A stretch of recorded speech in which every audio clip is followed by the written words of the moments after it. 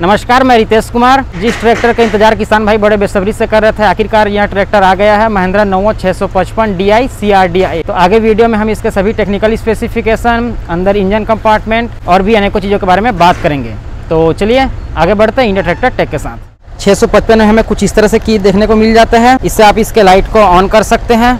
और इस वाले बटन से इसके लाइट बंद हो जाएँगे और इससे आप इसके पार्किंग लाइट्स को ऑन ऑफ़ कर सकते हैं। और रात में अगर ट्रैक्टर को आप खेत पे कहीं भी खड़े किए हैं तो इसकी मदद से आप इसे बड़े आसानी से ढूंढ सकते हैं। इसमें वही चेरी रेड कलर के साथ में बॉनर देखने को मिल जाता है, जो कि काफ़ी खूबसूरत दिखाई देता है और यहाँ पर महिंद्रा का बैचिंग देखने को मिल जाएगा। और ये नौ छः सौ पचपन डीआई और आपको सभी तरफ़ इस प्रकार से ग्रिल देखने को मिल जाते हैं। और यही सब ग्रिल की वजह से इसके अंदर एयर का सर्कुलेशन काफ़ी अच्छे तरीके से हो पाता है, जिसकी वजह से यह ट्रैक्टर बिना गर्म हुए लंबे समय तक बड़े आसानी से काम कर सकता है। और इसमें कुछ इस तरह से ग्रिल देखने को मिल जाता है, जो कि सेफ्टी गार्ड के रूप में काम करते हैं। और यहाँ पर आपको एक्स्ट्रा वेट अटैच करने के लिए अरेंजमेंट दिया हुआ है। इसमें आप one two three four five six seven eight आठ वेट प्लेट लगा सकते हैं। और एक प्लेट का जो वेट है, यह ट्वेंटी सेवन के जी का दिया हुआ है। और इसके बॉनेट को ओपन करने के लिए यहाँ पर लीवर मिल जाएगा और यह कुछ इस प्रकार से बड़े आसानी से ओपन हो जाता है। और इसको ओपन किए होने के लिए अंदर में दो गैस रॉड लगाकर दिए हुए हैं। इसके गैस रॉड को आप देख सकते हैं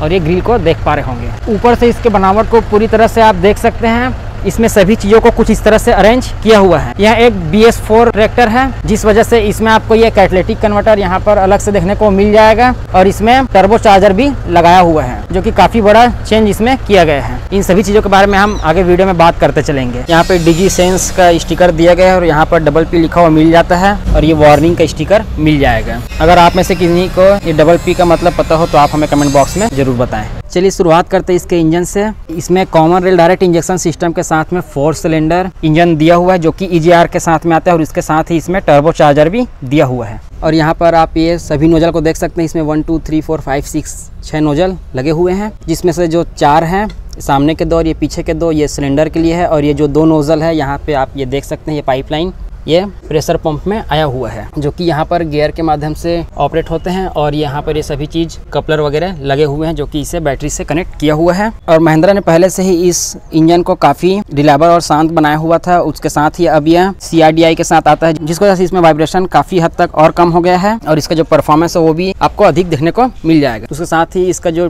डीजल खपत है, ये भी आपको कम मिलेगा। और इसमें आपको तीन मोड दिए हुए हैं, जिसके मदद से आप अपने ज़रूरत के हिसाब से इस ट्रैक्टर के पावर को यूज़ कर सकते हैं और अपना डीजल काफ़ी हद तक बचा सकते हैं। उसे हम आगे वीडियो में दिखाएँगे। और फोर सिलेंडर होने की वजह से ये काफ़ी बैलेंस कंडीशन में चलता है। इस इंजन की खास बात यह है कि मान लो अगर इसके दो सिलेंडर में डीजल सप्लाई नहीं भी हो रहा, उस कंडीशन में भी यह ट्रैक्टर स्टार्ट हो जाता है। हालाँकि आपको ऐसा स्टार्ट करके नहीं चलाना है, फिर भी आपको ये बता देते हैं। क्योंकि हमने अभी इसका जो कपलर है, दो नोजल का उसे निकाला था, उसके बाद भी जब ट्रैक्टर स्टार्ट किया तभी ट्रैक्टर स्टार्ट हो गया। हालाँकि जो माल फंक्शनिंग लाइट है इंस्ट्रूमेंट पे दिया हुआ है, वो जलना स्टार्ट हो गया था। और लेफ़्ट साइड से आप इंटेक मैनिफोल्ड को देख सकते हैं और इसी में ही ये ई e का अरेंजमेंट लगाया हुआ है। इसका मतलब एग्जॉस्ट गैस रिसर्कुलेशन होता है। और ये वाला जो पाइपलाइन है, ये टर्बो चार्जर से होते हुए ये इंटेक मैनिफोल्ड में आया हुआ है। और ये जो ई e है, इसमें जो एग्जॉस्ट गैस है, इस तरफ़ से आता है और यहाँ पर कूलेंट के माध्यम से इसे ठंडा करके यहाँ से एक इंटेक मैनिफोल्ड में डाल दिया जाता है। इस गैस का रियूज कर लिया जाता है, जिसकी मदद से आपको माइलेज में थोड़ा बहुत इंप्रूवमेंट मिल जाता है।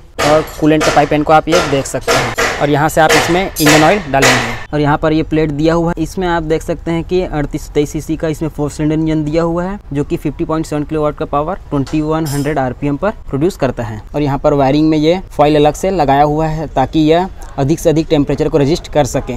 और एयर फ़िल्टर से आप पाइपलाइन को देख सकते हैं। यहाँ पहले टर्बो चार्जर में आया हुआ है, उसके बाद टर्बो चार्जर इस एयर को कंप्रेस करके ये वाले पाइपलाइन से इंटेक मिनीफोल्ड तक भेजता है।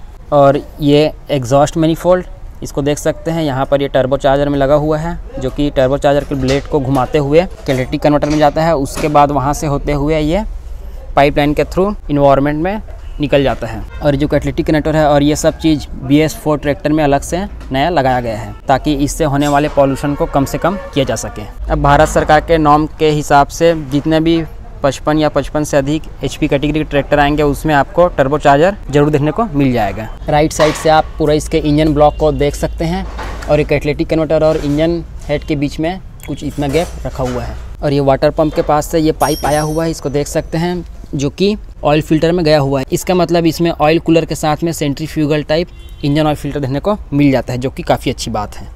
इस ट्रैक्टर में आपको अनेकों जगह पर सेंसर देखने को मिल जाएँगे, जैसे कि ये देख सकते हैं ऑयल प्रेशर सेंसर और ये क्लॉगिंग सेंसर और यहाँ पर आपको फ्लाईव्हील सेंसर देखने को मिल जाएगा। और ये फ्लाईव्हील सेंसर के लाया हो पाइपलाइन और इसका ये कपलर को देख सकते हैं, यहाँ पर दिया हुआ है। ये कपलर डिस्कनेक्ट होते ही ट्रैक्टर जो है बंद हो जाता है। अगर आपके पास ये वाला ट्रैक्टर है और कभी स्टार्ट नहीं हो रहा है, ऐसा कुछ प्रॉब्लम आ रहा है तो सबसे पहले आप यहाँ पर ये कपलर को चेक कर लें। यहाँ से अगर कुछ लूज पॉइंट होगा तो भी ये स्टार्ट नहीं होता है। और बी एस ट्रैक्टर में आपको ट्रैक्टर को स्टार्ट किए होने के लिए इसमें जो बैटरी कनेक्शन है, ये हमेशा लगा हुआ होना चाहिए। बिना पावर सप्लाई के यह ट्रैक्टर स्टार्ट नहीं रहता है। और इस ट्रैक्टर में आपको दो फ्यूल फ़िल्टर दिया हुआ है, ये प्राइमरी और ये सेकेंडरी डीजल फ़िल्टर और आप जब भी बी ट्रैक्टर लें तो इस बात का ज़रूर ध्यान रखें कि इसमें डलने वाला जो डीजल है, पूरी तरह से साफ़ होना चाहिए। इस ट्रैक्टर में आपको सभी नोजल और भी अनेकों जगह पर आपको कपलर देखने को मिल जाते हैं। और ये रहा इसका फ्यूज बॉक्स इसमें आपको अनेकों प्रकार के फ्यूज दिए हुए हैं और कौन सा फ्यूज किसके लिए अंदर में लिखकर बहुत अच्छे तरीके से बताया हुआ है। और एक इसका दूसरा फ्यूज बॉक्स है, वो आपको राइट साइड में देखने को मिल जाएगा, जैसा कि ये देख सकते हैं। और ये सब जगह पर भी कपलर लगा हुआ है। और ये सब वायरिंग वगैरह को देख सकते हैं। काफ़ी अच्छे तरीके से इस बार वायरिंग करके इसमें दिया गया है। तो बी एस ट्रैक्टर में आपको वायरिंग का भी काफ़ी अच्छे तरीके से ध्यान रखना पड़ेगा। लेकिन इसका एक बेनिफिट यह होता है कि बी एस फोर ट्रैक्टर का जो माइलेज है वो आपको ज़्यादा रहने को मिल जाता है। इसमें बड़े साइज़ में ड्राई टाइप एयर फ़िल्टर दिया हुआ है जो कि डोल एलिमेंट के साथ में आता है और इसमें आपको क्लॉगिंग इंडिकेटर भी मिल जाएगा, जो कि इसके चौक होने की कंडीशन में आपको बताकर आपकी सहायता करता है और आप समय समय पर इसका साफ़ सफ़ाई बड़े आसानी से कर पाएँगे। और इसमें कूलेंट रिजर्वायर के साथ कूलेंट कूल इंजन दिया हुआ है और इसके रेडिएटर को देख सकते हैं, काफ़ी बड़े साइज़ में दिया गया है और इसके रेडिएटर में आपको एक्स्ट्रा प्रोटेक्शन के लिए यूनिट लगाकर भी दिया गया है, जिससे जो बड़े बड़े कचड़े और भूसे वगैरह होते हैं डायरेक्ट इसमें न फंसे और आपका रेडिएटर चौक न हो। और लंबे समय तक आप बड़े आसानी से ट्रैक्टर के बिना गर्म हुए काम कर सकें। प्लास्टिक का रेडिएटर फ़ैन दिया हुआ है। बात करें इसके फ्यूल टैंक का तो इसमें लगभग 65 लीटर का मेटल का फ्यूल टैंक दिया हुआ है जो कि आता है दो डीजल फ़िल्टर के साथ में। बात करें इसके एक्सल का तो इसमें adjustable type heavy front axle दिया हुआ है। ये सब अरेंजमेंट को देख सकते हैं और इसमें डबल एक्टिंग पावर स्टेन देखने को मिल जाएगा और इस पंप का जो रिस्पॉन्स है काफ़ी ज़बरदस्त मिल जाता है। और डबल एक्टिंग होने का यह फ़ायदा होता है की इस टाइप के पंप को आप सिंगल उंगली से भी ऑपरेट कर सकते हैं। और इस प्रकार का जो पंप होता है, वो ट्रैक्टर को कभी भी एक डायरेक्शन में नहीं खींचता है, बिल्कुल बराबर चलते रहता है। और इसमें काफ़ी अच्छा मज़बूत रिम दिया हुआ है और इसका जो रिम का मोटाई, इसे आप देख सकते हैं। इसमें लगभग छः एम थिकनेस के साथ में रिम मिल जाता है। और इस साइड से भी आप रिम को देख सकते हैं। और राइट साइड से स्टेयरिंग के लिए आहू पाइपलाइन को ये देख पा रहे होंगे। यहाँ से आप इसके पंप को देख सकते हैं। ये हाइड्रोलिक के लिए गया हुआ पाइपलाइन है, जो कि पीछे हाइड्रोलिक तक गया हुआ है। इसमें आपको काफ़ी बड़े साइज़ में हाइड्रोलिक ऑयल फ़िल्टर देने को मिल जाएगा। और ये पीछे हाइड्रोलिक के लिए गया हुआ पाइपलाइन और नीचे से आप पूरा इसके डिज़ाइन को देख सकते हैं।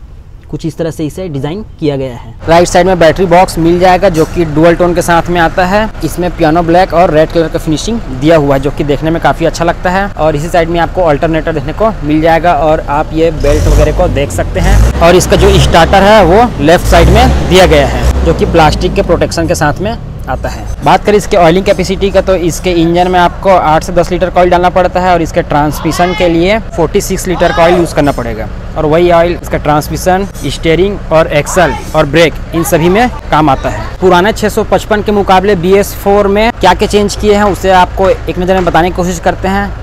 यहाँ पे हीट गार्ड दिया गया है और ये टर्बो चार्जर के साथ में आता है, जो कि काफ़ी बड़ा अपग्रेड है। उसके साथ ही बी होने की वजह से इसमें कैथलेटिक कन्वर्टर मिल जाएगा और सबसे मेजर चेंज रहा इसका पंप जो कि सी के साथ में आता है। और ऊपर चल के भी आपको बता देते हैं, इसका जो इंस्ट्रूमेंट क्लस्टर है, ये भी काफ़ी हद तक चेंज किया गया है और यहाँ पर आपको अलग से मोड भी दे दिया गया है। लेफ़्ट साइड में हमें मेटल का टूल बॉक्स देखने को मिल जाएगा। पहले वाले नौ छह के मुकाबले इस ट्रैक्टर में तीन से चार एचपी बढ़ाया गया है। इसका मतलब अब यह ट्रैक्टर 67 से लेकर 68 एचपी का पावर प्रोड्यूस करेगा और पहले 250 न्यूटन मीटर का टॉर्क प्रोड्यूस करता था। जब इसके एचपी को बढ़ाया गया है तो ज़ाहिर सी बात है की टॉर्क को भी थोड़ा बहुत बढ़ाया जाएगा। तो इसका मतलब इसमें आपको 250 से अधिक टॉर्क देखने को मिल जाएगा। और आप में से जिन किसान भाइयों के ट्रैक्टर में आर लगा हुआ है वो हमें कमेंट बॉक्स में ज़रूर बताएँ और आपने आर कितने में लगाया है, वो भी आप हमें कमेंट बॉक्स में बता सकते हैं।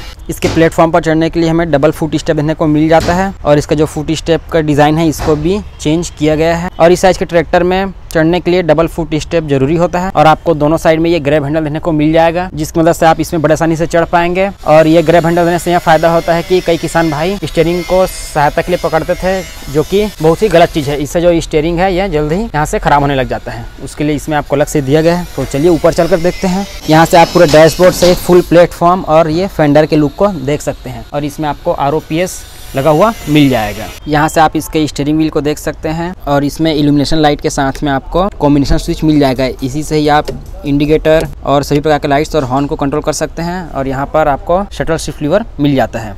इसको आगे की ओर करने पर यह ट्रैक्टर आगे चलेगा और पीछे की ओर करने पर जिस गियर और जितने भी स्पीड में आप आगे जाते रहेंगे, उसी गियर और लगभग उतने स्पीड में ही आप पीछे बड़ा आसानी से आ पाएँगे। और ये रहा इसका हैंड थ्रोटल लीवर जो कि काफ़ी स्मूथ दिया गया है। यहाँ से आप इसके इंस्ट्रूमेंट क्लस्टर को देख सकते हैं।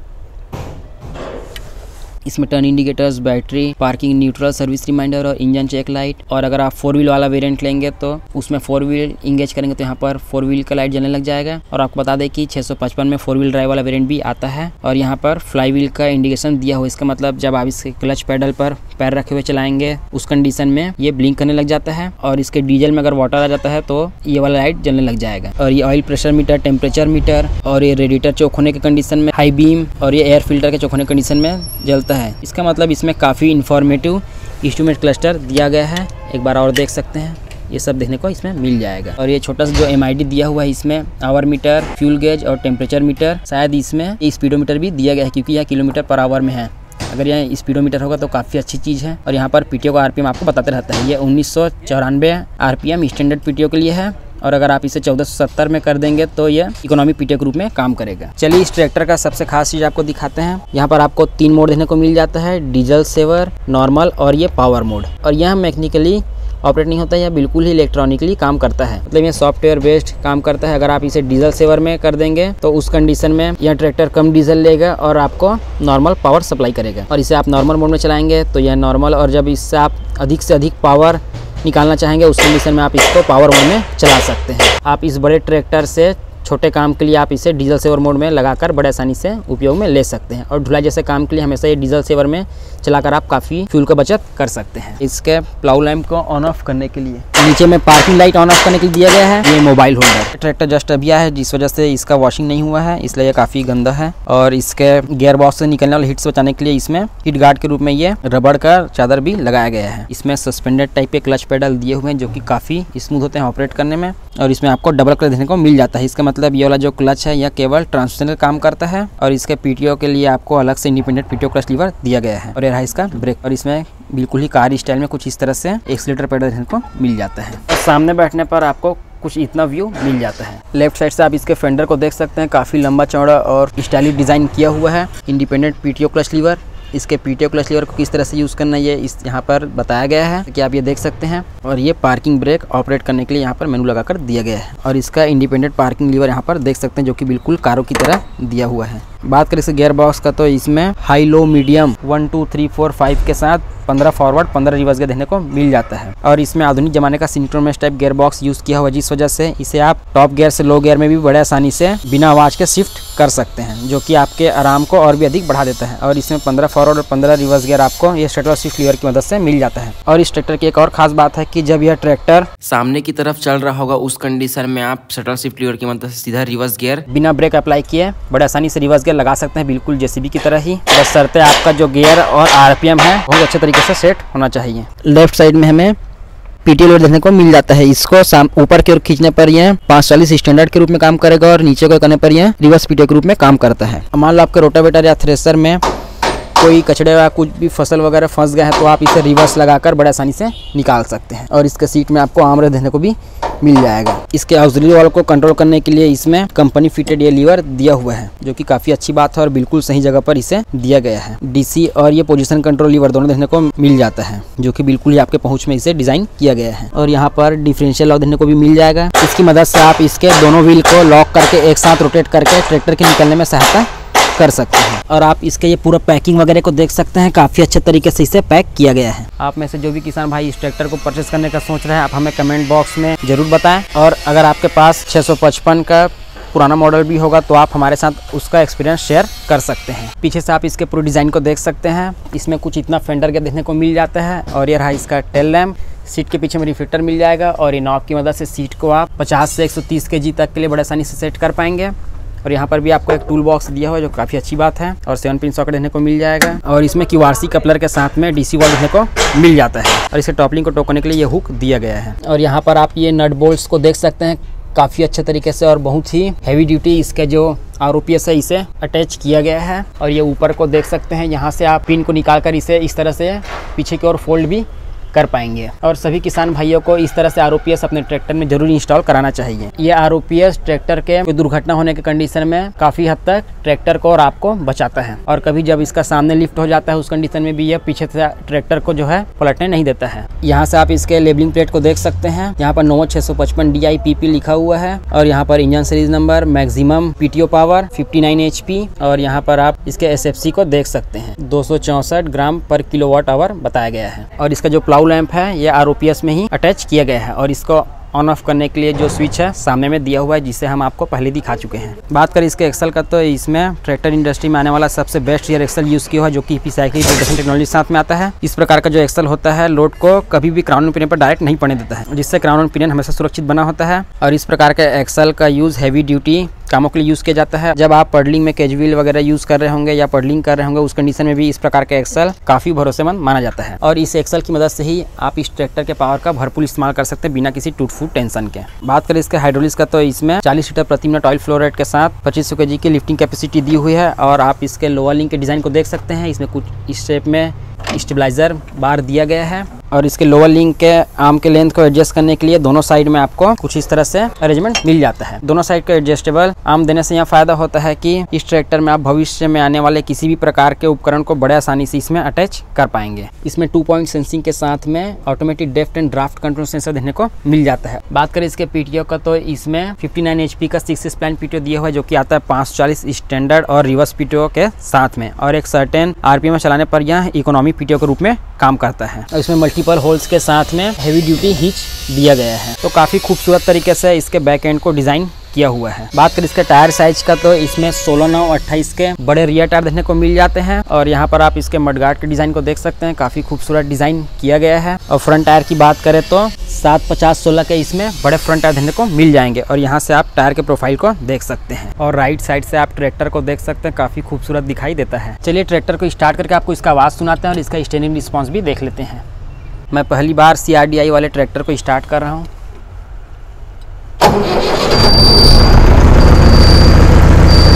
आवाज़ को सुन सकते हैं, काफ़ी स्मूथ है। और इसका आरपीएम थोड़ा बढ़ा हुआ है, ये ऑटोमेटिक अपने हिसाब से कम हो जाता है। क्योंकि इसमें काफ़ी एडवांस फीचर दिया हुआ है।